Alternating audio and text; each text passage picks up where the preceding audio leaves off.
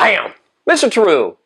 In this lesson, we are going to learn about finding limits of functions. The same thing we learned in calculus in chapter 1. And back in chapter 1, we learned how to find limits both graphically and numerically, uh, making a graph of a function and just looking at the graph, maybe using a trace function or the zoom function in our calculator uh, to see what that see a limit, or we found limits analytically by doing those very tedious tables where we let x approach from the left and the right, and we noticed that the, when the left and right hand limits were equal, the, the limit existed. And then we learned how to solve uh, or find limits analytically. And that involved algebraically, uh, if needed, manipulating the function to allow us to find, let's say like this example here, a limit as x approaches 2. Well, that's fine, but algebraically manipulating these expressions or these functions isn't always possible, and it certainly is not always the fastest method of finding a limit. So what we're going to do in this video is we're going to see how L'Hopital's rule will uh, allow us to find some limits that we previously were not able to without the aid of a table or, or a graph. Uh, it'll also speed up the process of finding certain limits, and there are many different forms of indeterminate. So in this video, we are going to be properly def uh, defining L'Hopital's rule and working through nine examples to help you get through your homework. So, when finding limits, the answers of 0 over 0 and infinity over infinity are called indeterminate. These answers do not guarantee that a limit exists, and if it does exist, they're um, uh, there, that there being this, like this example here where x is approaching 2, we do not know what the limit exists. And I have two examples up here, but I'm going to move this board out of the way to finish our first page of notes, so let's do this first. Find the limit as x approaches 2 uh, for this, this rational function where there's a polynomial in the numerator and denominator. And for a lot of functions, if you want to find a limit as x approaches a particular value, you just simply plug it in. Well, if you plug 2 into the numerator and denominator, you're going to get an answer of 0 over 0, which is the indeterminate form. That does not mean the limit does not exist, nor does it tell us if it does exist, what the limit is. So, and we did these problems earlier in the year, and we don't need a graphical uh, representation of this function or even a table to figure out what the limit is equal to, because I can algebraically manipulate this expression, or this function, uh, to allow us to find the limit. It's going to be the limit as x approaches 2 of, uh, let's see here, we're going to have 5x and 1x, and if we put a factor of 7 here and a factor of 2 here for our factors of 14, we're going to have 5 times 2 is 10, and 7 times x is 7. We have a middle term which is negative 3x, so the numerator is going to be factored to be 5x plus 7 times x minus 2. And our denominator is going to factor out to be x plus 3 times x minus 2. Well, that common factor of x minus 2 is going to factor out of our function. And in case you forgot, if we were to graph this, that means that this function would have a hole at the x value of 2. But what we do end up with as far as finding limits is we want to find the limit as x approaches 2 of 5x plus 7 over x plus 3. Well, now I have an expression or a function that I can plug 2 into, and we get 5 times 2 is 10, plus 7 is 17, over 2 plus 3 is 5. So we were able to algebraically, uh, algebraically manipulate this expression so that we can get it out of the indeterminate form and find out what the, the limit is. So as x approaches 2, the limit of the function y is equal to this this uh, rational function is 17 over 5, or there would be a hole actually in this particular case at 2 comma 17, point, uh, 17 over 5. But here we have the limit as x approaches 0 of 2 times e to the 3x minus 2 over x. Now if we let x approach 0 here, we are going to get 2 times e to the 3 times 0 power minus 2 over 0. And that is going to become out, uh, come out to be 2 times anything to the 0 power is 1. So 2 times 1 is 2, minus 2 is 0 over 0. Well, that's the same indeterminate form I had with this problem. But there is nothing that I can do with that expression or this function y equals 2e to the 3x minus 2 over x to get it out of this indeterminate form. And that is where L'Hopital's rule is going to help us out. So let me get this out of the way. My high-tech picture-in-picture. We don't have an example anymore. And this is just going to summarize what I said in written words. The indeterminate form cannot be evaluated by algebraic manipulation for this example. When transcendental, that would be in functions, that's an example of that would be e to the 3x. When transcendental and algebraic functions are combined in the same expression, uh, this often is uh, the case where I can't manipulate this out of, algebraically anyway, out of this indeterminate form. So let's get the next page of notes up so we can get L'Hopital's rule defined and learn when we can use it. You can't use it all the time, and one of our examples are going to show when you get in trouble uh, for just arbitrarily using L'Hopital's rule every for every single problem. And then, like I said, go through those many, many examples in the video. Bye! L'Hopital's rule. Let f and b be functions that are differentiable on an open interval uh, ab containing c, except possibly at C itself. Uh, like my algebraic example, uh, functions aren't differentiable at a hole, right? So, and also assume that g prime of x is not equal to 0 for all x in the open interval ab, except again possibly at c itself, because then you'd be dividing by 0 uh, and that's not good. if a if the limit of f of x over g of x as x approaches c produces the indeterminate form of 0 over 0, then the limit as x approaches c of f of x over g of x is equal to the limit as x approaches c of f prime of c over g prime of c. So Unlike in the previous uh, board where I did that algebraic example, I had to factor the numerator and denominator and see if there was any common factors that canceled. I can just take the numerator and denominator uh, separately and then find the limit of each, and that is the limit as x approaches c of my original function f of x or expression f of x over g of x. That is going to save us a lot of time. And on that second example that had the transcendental function, that's going to allow us to find the limit period, where I couldn't uh, with algebraic manipulation. So very powerful. Now, I have this in yellow. I, should, I, I was going to do red, except that sometimes it's hard to show up on the camera. This is extremely important. If the limit of f of x over g of x as x approaches c produces the indeterminate form of 0 over 0. And I'll give you some alternative forms on the other side. But if you don't meet the conditions uh, to apply L'Hopital's rule and you just apply it all the time, it will give you a wrong answer. There's a condition for using this rule. Make sure that you check it. Uh, provided the limit on the right exists, I guess I could just keep reading the thing here, right? Then the limit is blah, blah, blah. Provided the limit on the right, that's this thing right here, uh, exists or is infinite. Now, uh, an infinite limit is not a real limit, but it's still something that we can say, like the function approaches infinity.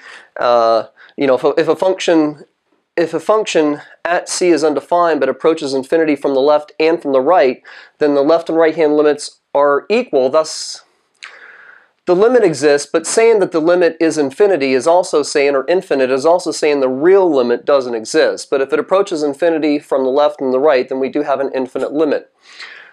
Just not a real limit.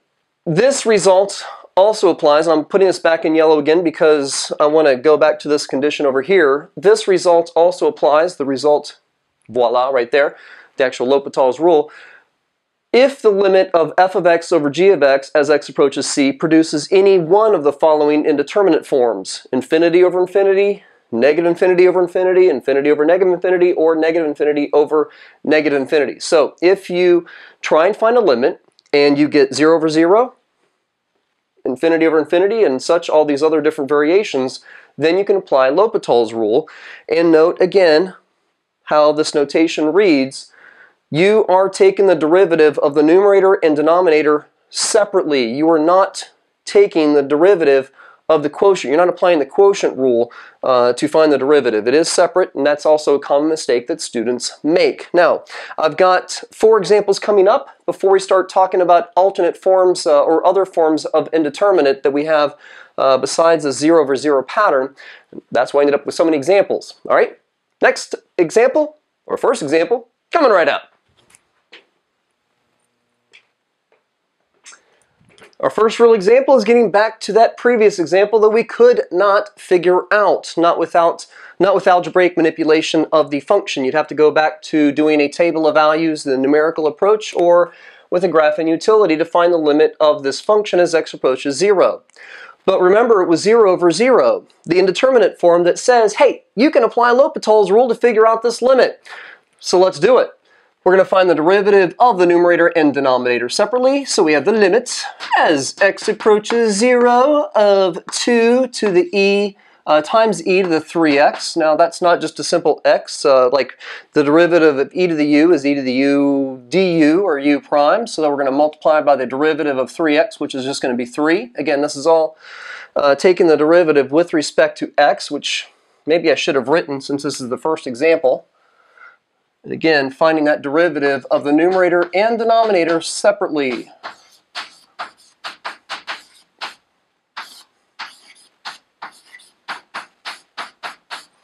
You probably will not want to write that notation and, next, and use an extra line of work to, to write that too many times. Uh, but again, it's just a stress. You're not using, you're not finding the derivative with the quotient rule. It's the numerator and denominator separately.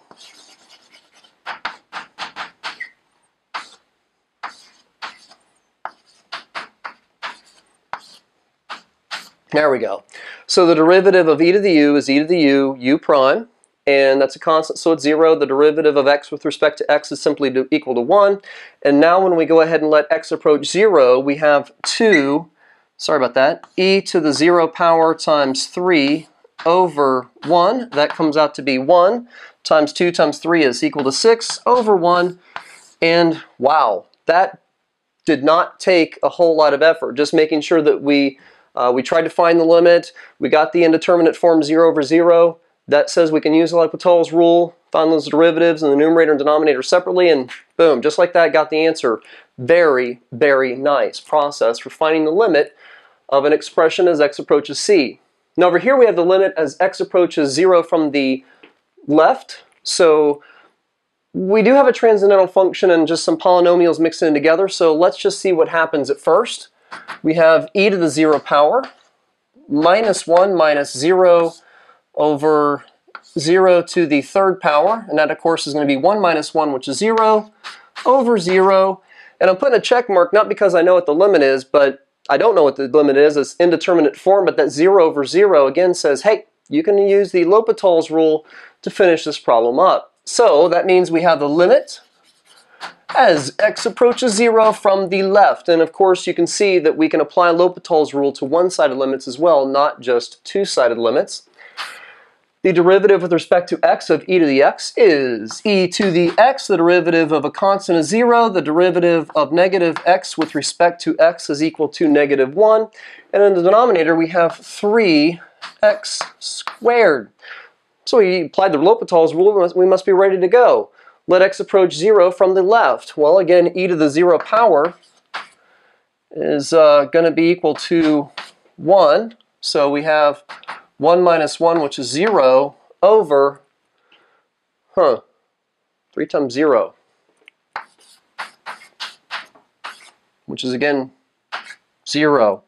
So we applied L'Hopital's rule, but what we're seeing here is just, you, you may not just be able to apply it, or you, you may not just be able to apply it once, but you might have to apply L'Hopital's rule multiple times. And by the way, there will be examples where you realize that I applied the L'Hopital's rule when it was appropriate, and again I got another indeterminate form, and I applied again, and I applied again, and you realize that you keep applying the L'Hopital's rule, but you still end up with answers which are indeterminate. So there are cases where the L'Hopital's rule won't help you, and you won't know that until you do this process a few times and realize it just doesn't seem to be working out.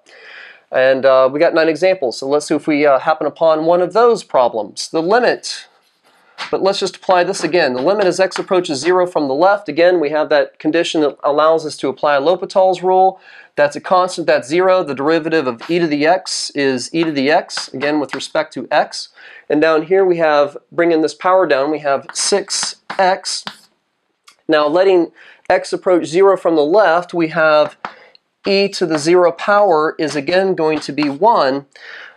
But now here in the denominator, now we don't have a 0 in the numerator, so I think we're going to have a final answer here. We're going to let x approach 0. Well, 6 times 0 is equal to 0, and we have that 1 over 0 power. Well, as x, you know, as we get approach this 1 over 0 type answer or scenario, that is going to approach either positive or negative infinity. And that's where we need to come back in here and realize that we are approaching 0 from the left. So all of our x values must be negative. Now a positive base raised to a negative power, that's really kind of just like e to the negative x is simply going to be 1 over e to the x. It's still going to be a positive answer, or positive 1.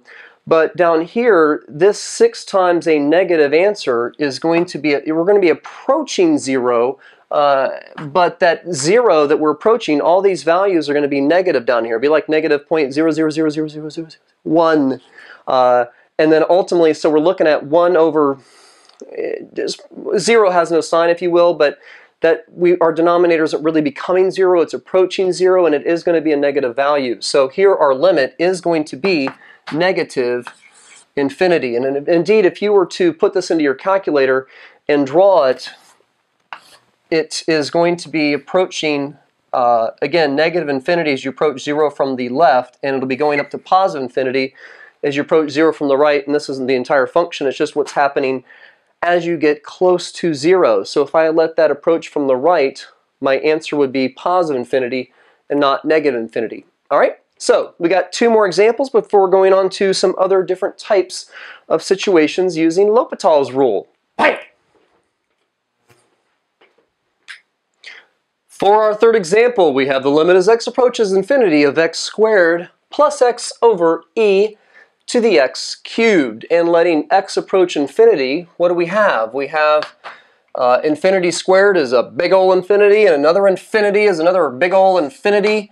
And then e, a positive base raised to infinity, is going to be infinity and beyond. So that means that that is a form of the indeterminate that is going to allow us to apply the L'Hopital's rule. So let's find the derivative of the numerator and denominator separately. Uh, L'Hopital limit as x approaches infinity of 2x plus 1. Again, finding the derivative with respect to x. And the derivative of e to the u is e to the u times u prime, or du. And the derivative of uh, x cubed is going to be 3x squared. Excellent. Now let's find that limit. The limit as x approaches infinity of 2 times infinity is still going to be infinity. Okay, this is not looking good. And now we're going to let x approach infinity again. Uh, okay, so another one of those problems. Now, what's good? What are we looking at in this example? Well, first, uh, 0 over 0 is not the only indeterminate form that allows us to apply L'Hopital's rule. Again, we might need to apply L'Hopital's rule uh, multiple times. Let's see what happens. We have now the limit, oh, excuse me, L'Hopital. Uh, the limit as x approaches infinity of the derivative of 2x is going to be equal to 2 over, hmm, okay, so now now before we, uh, let's see here, we have a variable here times a variable here, so we're going to use the, deriv the product rule for derivatives. First times the derivative of the second, which is going to be times e to the x cubed times 3x squared, that's first, times the derivative of the second. We're using that chain rule again, that e to the u, uh, the derivative of e to the u is e to the u times u prime, plus the second, times the derivative of the first, and that is going to be 6x.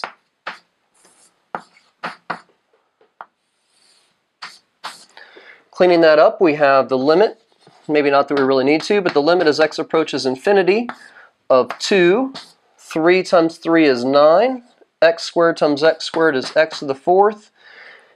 e to the x cubed plus 6x e to the x cubed. And as you let x approach infinity here, we're going to have 2 over well, both of these terms have an x in them, right? And that x is approaches infinity. So that's going to be some type of infinity plus another type of infinity. So we have 2 over infinity. Well, if the denominator approach zero, right, that means you have a large number, what's effectively over a very, very small number, and that means your function is going to approach infinity or negative infinity. But if your denominator is becoming infinitely large, or becoming, uh, you know, compared to that numerator, which is a constant, that is going to be approaching zero. And let me just make sure I haven't made any mistakes here. Looking good. All right. So for our fourth example, we have the limit as x approaches 0 of 1 plus sine of x over cosine of x. And let's see here. Well, uh, the let's just apply the L'Hopital's rule. The limit as x approaches 0, the derivative of 1 is 0, the derivative of sine is equal to cosine. And the derivative of cosine is equal to negative sine of x as you let x, now remember x is in a trig function, so it is an angle measure, right? So as you let x approach zero, uh, and of course we're talking about positive uh, rotations, right? So you, as you let x approach zero, uh, the cosine of zero is going to be equal to one. The sine of zero degrees, radian, or uh, zero radians is going to be equal to zero, but there's a negative out front. So it would appear that the limit as x approaches zero uh, for this expression is going to be negative infinity. No, it's not. No, it's not. No, it's not. No, it's not. Why? Because just because I'm in a section about L'Hopital's rule doesn't mean every single problem is going to be worked with or be done using L'Hopital's rule. I never checked to make sure that this limit was indeterminate. So if I come back up here and I say, hey, let x equal 0 or approach 0, well, that's going to be 1 plus the sine of 0 is uh, equal to 0, and the cosine of 0 is equal to 1. My answer was 1. My limit was not indeterminate uh, in that indeterminate form, and I just arbitrarily applied L'Hopital's rule and I got the wrong answer. So again, make sure that you check the condition for L'Hopital's rule before you just go on and apply it. Come on, man. Check yourself. Check your problem. Bam! New type of problem or setting. Indeterminate products of 0 times infinity. Now here we have three limits. They all equal different uh, answers. The limit as x approaches 0 of x times 4 over x is equal to 4. The limit as x approaches 0 from the left of x squared times the cosecant of x is equal to 0. And the limit as x approaches infinity of x times the sine of 1 over x, well that's equal to 1. But if you look at each of these forms, let's uh, get some red here. I think this will be just enough to be able to read. If you let x approach 0, you're going to have 0 times, and then 4 over 0 is going to be infinity. And the limit as x approaches 0 from the left, well, 0 squared is going to be equal to 0. And the cosecant function, that's the reciprocal of sine. And at the xy axis, the sine is at 0, 0, and then goes up to 1 and kind of goes in the opposite direction, approaching negative 1 as you go down to negative pi over 2. So if you think of the sine function getting blown inside out as the cosine function is, I don't know what I'm trying to do with my arms, but the uh, the, the cosine, the cosecant function as x approaches, I think I said the wrong function there a second ago, the cosecant function as x approaches 0 from the left is going to go to negative infinity.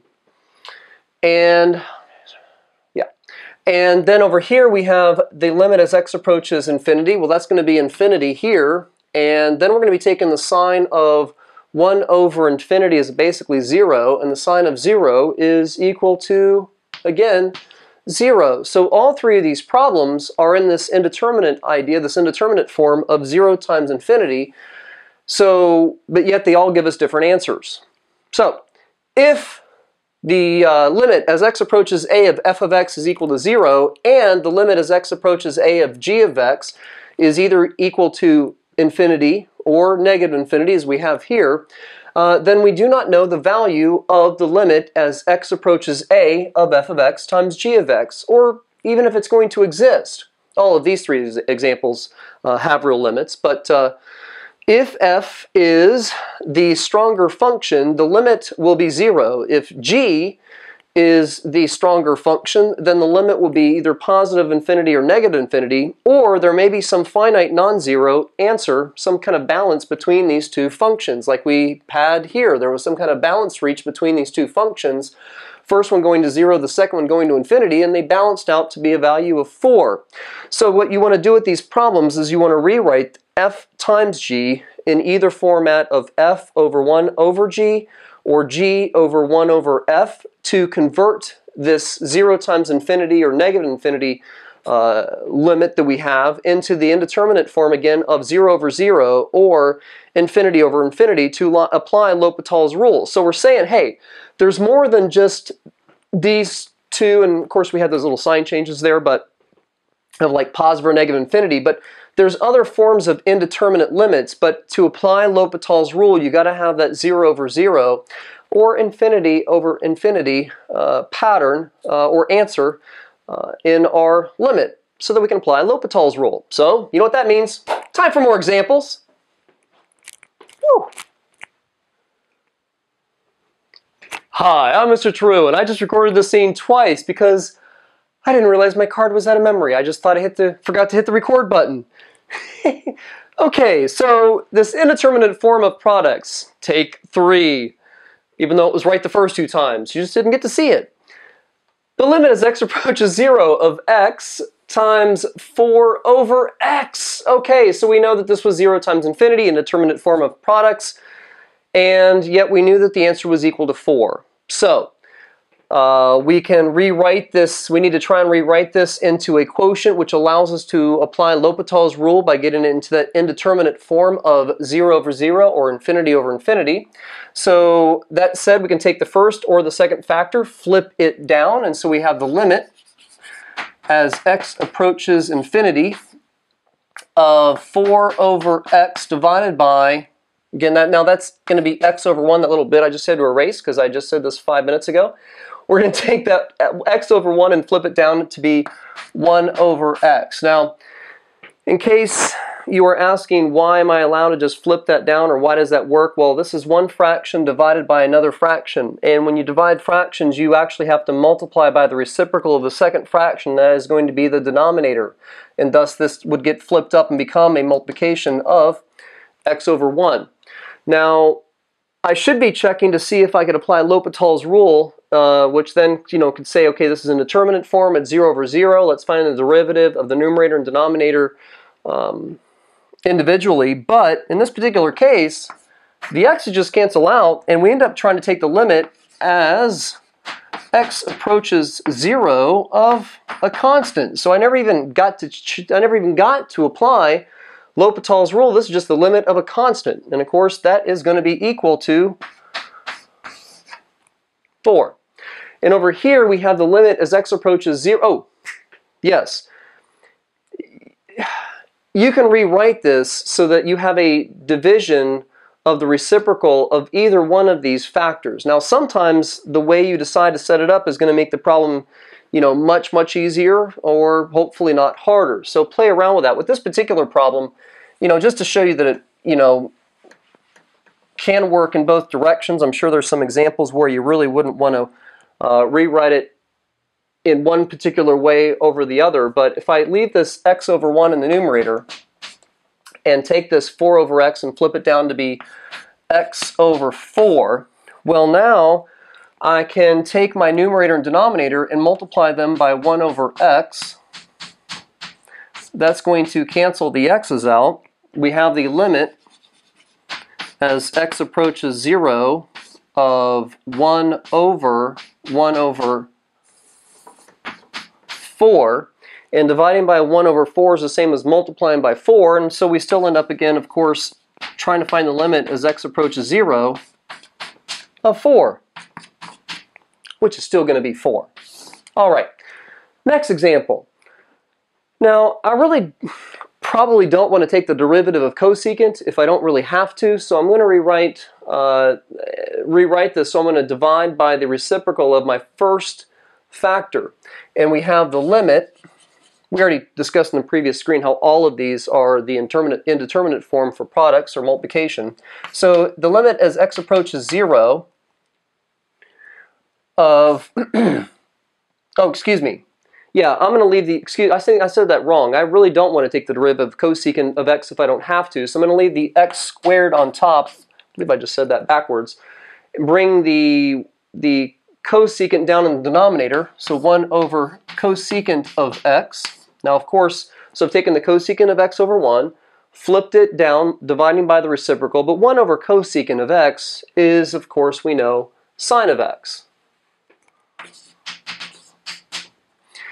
And now, let's make sure that we can apply L'Hopital's rule before we just start doing so without thinking. Uh, we plug the x in. We have zero, or the, the x is equal to zero or approaching zero. So we have zero squared, which is equal to zero. And the sine of zero is also equal to zero. Okay, so that is the indeterminate form now that will allow us to apply L'Hopital's rule. So finding the derivative of the numerator with respect to x Well, that's going to be 2x. And the derivative of sine is cosine. So the limit as x approaches 0 of 2x over cosine of x. And as we let x approach 0 now, we're going to get 2 times 0 is 0 over the cosine of 0, which is equal to 1. And that is equal to 0, the answer that I said this limit equal to in the previous screen. Now the last one, the limit as x approaches infinity of x times the sine of 1 over x. Well, again, if I bring uh, the sine of x down and divide by the reciprocal, that 1 over sine is going to become cosecant, which may be fine, may work just fine, but why introduce a harder trig function when I don't think that we need to? So we're going to divide by the reciprocal of the first factor, or rewrite this as the limit as x approaches infinity of sine of 1 over x over 1 over x. And trying to find the limit at this point, we're going to have the sine of 1 over infinity is 0, so the sine of 0 is again equal to 0. This is equal to 0 in the denominator, so we are good to finish up by applying L'Hopital's rule. So the limit as x approaches 0 infinity The derivative of sine is cosine of 1 over x. Now we need to we need to multiply by the derivative of that inside function, that base. Now 1 over x is the same as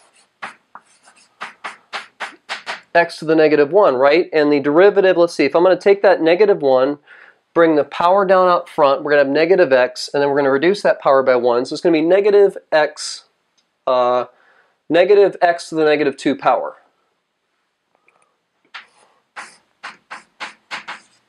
Or negative 1 over x squared. And so down here we have the same thing. The derivative of 1 over x is going to be negative x to the negative 2 power. Uh, these negatives are going to cancel out. The x to the negative 2's are going to cancel out. And we end up with the limit as x approaches infinity of the cosine of 1 over x, letting x approach infinity. We're going to have 1 over infinity is 0. The cosine of 0 is equal to 1. And that is the end of these three examples, all involving indeterminate form for multiplication or products. Now we're going to move on to indeterminate form of power. Before we move on to the indeterminate form of powers, I just realized as just as I was about to erase the board that in my frustration of having to shoot this three times, uh, when I didn't even make a mistake other than realizing my memory card was uh, getting to be full, uh, the, to include that little uh, notation that I was approaching zero from the left. Now, moving on to power. Indeterminate powers if the limit as x approaches a of f of x raised to the g of x power. So you're looking at a function basically, or an expression raised to another expression, yields either 0 to the 0 power, 1 to the, 1 to the infinity power, or infinity to the 0 power. then you can start writing, uh, trying to get that problem into a form that allows you to apply L'Hopital's rule by taking the natural log of both sides of the function. Uh, that is going to allow us to then, uh, so we have like, we're going to just basically say, well, okay, let's let y equal uh, f of x raised to the g of x power. We're going to take the natural log of both sides. The power rule for logarithms are going to allow us to take that that variable exponent and move it down out front as a multiplication. And then to get the natural log function away from the y, we're going to make both sides of the equation an exponent of y, or just write it into exponential form so that we have e equals y raised, or uh, excuse me, y, I'm reading this all backwards, y is equal to e raised to the gx times natural log of f of x power and then kind of see what happens after that. Now this next example is going to be relatively long so I need to erase this board so I have enough room.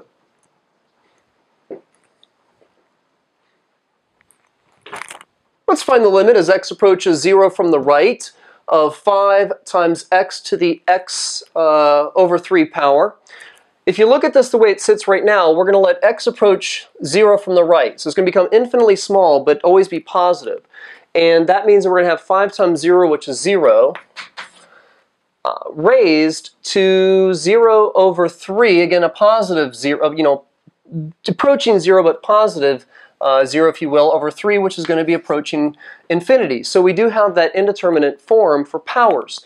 So I'm going to go ahead and say let's let y equal the limit as x approaches 0 from the right of 5x to the x over 3 power.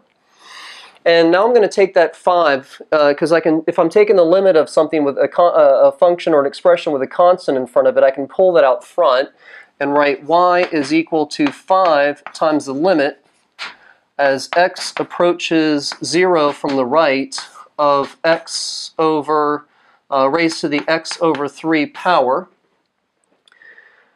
I want to apply the natural log function to both sides, but I want to get the 5 over to the other side first, just out of prep, you know, uh, just because I believe it's going to be the easiest. So we have y over 5 is equal to the limit as x approaches 0 from the right of x to the x over 3 power. Take the natural log of both sides. We have the natural log of y over 5 is equal to the natural log of the limit as x approaches 0 from the right of x to the x over 3 power. Now because the natural log function is continuous on all values uh, where x is positive, and again we're not letting x equal 0, we're letting it approach 0 from the right, this is a continuous function. So that means that I can take this natural log function and bring it into the limit notation and have the natural log of y over 5 is equal to the limit as x approaches 0 from the right of the natural log of x to the x over 3 power. Now, fix that parentheses there. Normally when I you know, say that I'm going to apply the natural log function or log of any base to a very uh, to a variable, I wrap that inside an absolute value function because you can't take the log of a negative number. But remember, again, we're letting x approach 0 from the right, so x is always going to be positive, and thus the absolute value symbols are not necessary. Now we're going to take this out of this exponential form, so we can write it in this like a, I don't know if it's going to be 0 over 0 or 0 uh, infinity over infinity or whatnot, but to get it into a form which we can apply the L'Hopital's rule, that like again that zero over zero type idea, we're going to take the x to the one x uh, over three power and move it out front and get the natural log of y over 5 is equal to the limit as x approaches 0 from the right of x over 3 times the natural log of x. Now if you look at what we have going on here, if we try and apply the limit here, this is going to be infinity, and this, uh, excuse me, 0, and this is going to be negative infinity. So it's still an indeterminate form, but it's not a form where we can apply the L'Hopital's rule. So we are going to, let's see, how about, I think it's going to be a little bit difficult to sort of write a 1 over natural log type situation. So let's show, uh, let's rewrite this multiplication of this x over 3 as a division of its reciprocal and write the natural log of y over 5 is equal to the limit as x approaches 0 from the right of the natural log of x over 3 over x. Now, as we let x approach 0 from the right, remembering that y is equal to the natural log of x, that graph looks something like this. As you approach 0 from the right, that's going to go to negative infinity, and as you approach 0 from the right, this is going to go to positive infinity, which is an indeterminate form where we can use L'Hopital's rule. So, come on, Mr. L'Hopital. We're going to take the natural log of y over 5 is equal to the limit as x approaches 0 from the right. So exciting. The, lim the derivative of the natural log of x is equal to 1 over x. And the derivative of 3 over x, well, that's 3 to the x, uh, 3 times x to the negative 1. Uh, using the power, we're going to have negative 3x to the negative 2 power, so it's negative 3 over x squared. Okay, so letting, let's see here. Now if I multiply the numerator and denominator by x over 1, which is effectively just 1, right? These x's are going to cancel out, and that x is going to cancel out with one of those, and we get the natural log of y over 5 is equal to the limit as x approaches 0 from the right of 1 over negative 3 to the x power. And that becomes, well, if you take this bottom and you flip it up, that is going to become x over negative 3, right? I'm running out of room, so I'm going to erase this and rewrite that 1 over negative 3 over x as x over negative 3. And as I let my x approach 0, we get um, 0.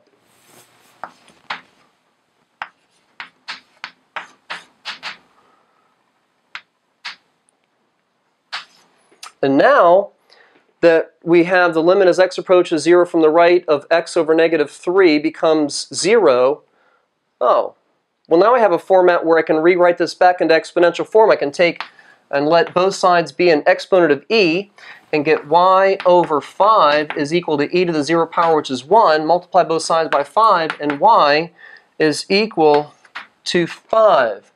And y was the limit as x approaches 0 from the right of 5x raised to the x over 3 power. And let me just double check my notes. Um, we are good. So I got one last form. It's going to be the indeterminate uh, form for differences. And this video will be done with one more example. Thank you for watching. Woo! Love this stuff.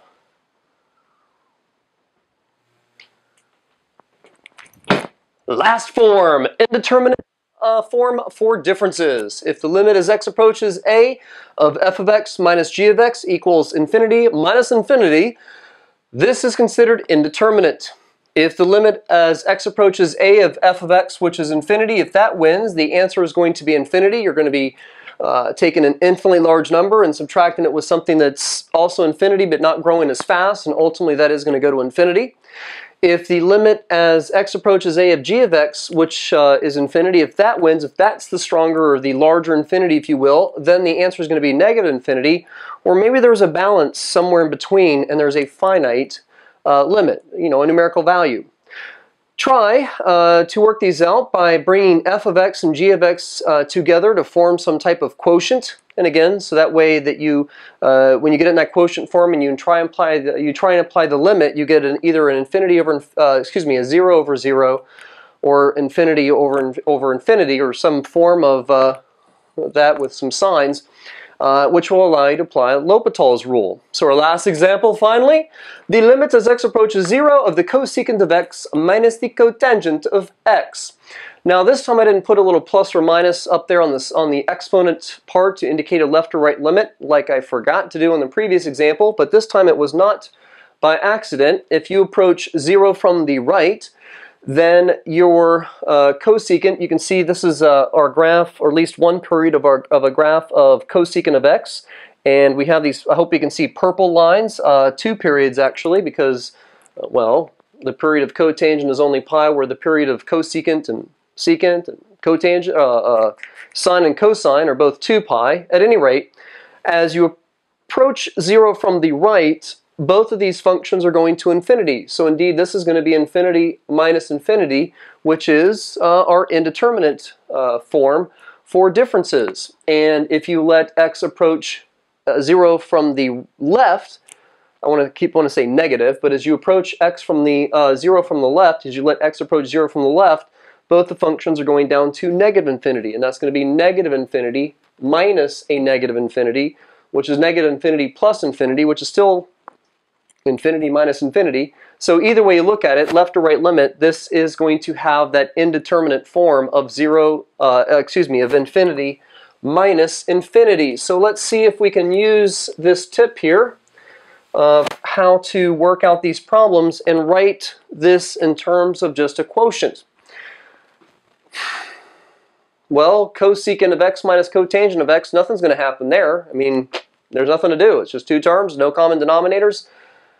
Oh, yeah, that's right. But if I rewrite these trig functions, kind of like doing a trig proof in, in pre-calculus or trigonometry, if I rewrite this in terms of the most basic trig functions, sine and cosine, I think we're going to have some fractions that we can uh, then use, you know, find common denominators with and combine those. So we have the limit, oh, and, you know, again, this is infinity minus infinity. So we have the limit as x approaches 0 of cosecant, which is 1 over sine of x, minus cotangent, which is cosine x over sine of x, and I don't even have to find common denominators. I already have them there, so let's write that as one quotient.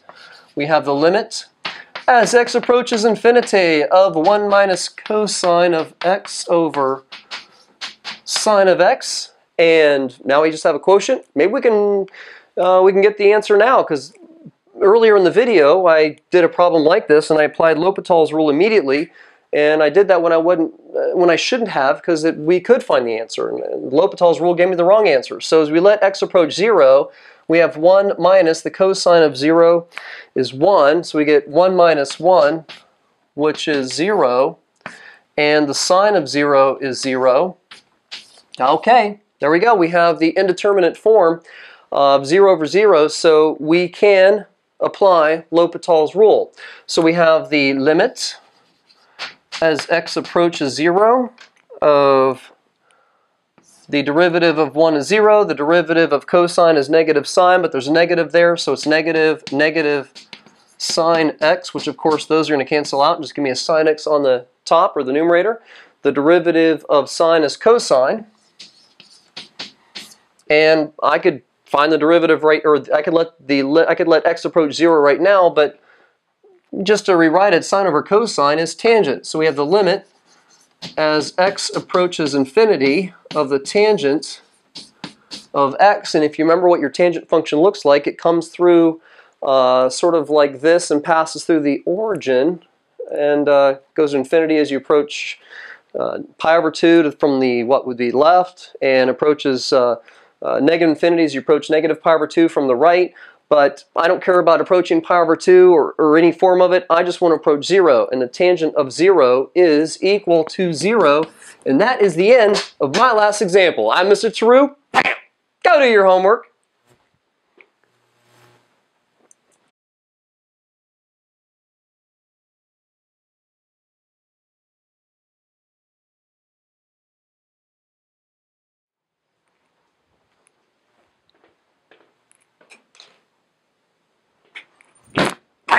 Last form, indeterminate differences. If x is approaching a as is lula,